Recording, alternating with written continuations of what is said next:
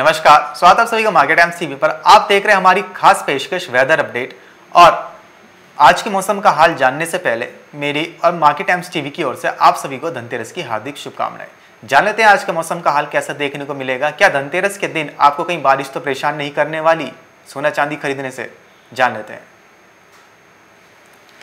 तो पहाड़ी राज्यों में शुमार उत्तराखंड और हिमाचल प्रदेश के साथ केंद्र शासित प्रदेश जम्मू कश्मीर में हो रही बर्फबारी ने मैदानी इलाकों पर प्रभाव डालना शुरू कर दिया है। पहाड़ों पर हो रही बर्फबारी के चलते ही दिल्ली एनसीआर समेत पूरे उत्तर भारत में लगातार ठंड में इजाफा हो रहा है। मंगलवार सुबह भी अन्य दिनों की तुलना में दिल्ली एनसीआर में अधिक ठंड महसूस की गई। घरों से बाहर निकले जैकेट और स्वेटर पहने तक लोग नज़र आ रहे हैं। तो महिलाओं ने भी ठंड से बचने के लिए शॉल आदि का सहारा लेना शुरू कर दिया है। मौसम विभाग के अनुसार मंगलवार को दिन भर आसमान साफ़ रहेगा और चटक धूप निकलेगी। इसके साथ दिल्ली एनसीआर में मंगलवार सुबह धुंध भी छाई रही, लेकिन 8 बजे के बाद धूप के असर कम हो गया थोड़ा।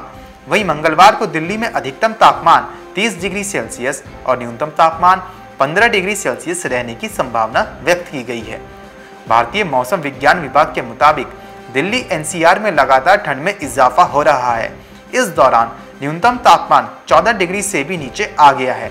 सोमवार को इस सीज़न का सबसे कम न्यूनतम तापमान दर्ज हुआ। ठंड में इजाफे का दौर यूँ ही जारी रहने की संभावना है। वहीं सोमवार सुबह दिल्ली में अच्छी ठंडक का एहसास हुआ था। पार्क में सैर के लिए जाने वालों को खास तौर पर ठंड लगी। हालाँकि दिन में धूप खिली रही थी और दिन भर आसमान भी साफ़ ही रहा था।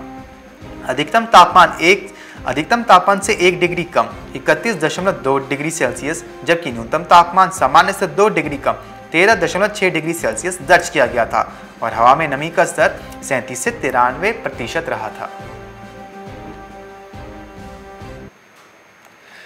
तो ये था आज के मौसम का हाल। अगर आप दिल्ली वासी हैं, दिल्ली में रहते हैं तो आज आपको थोड़ी ठंड और ज़्यादा महसूस हो सकती है। सुबह के वक्त भी देखने को मिली ही होगी अगर आप सैर के लिए निकले होंगे और हाल भी महसूस हो सकती है तो गर्म कपड़े पहने, शॉल, स्वेटर का सहारा लें।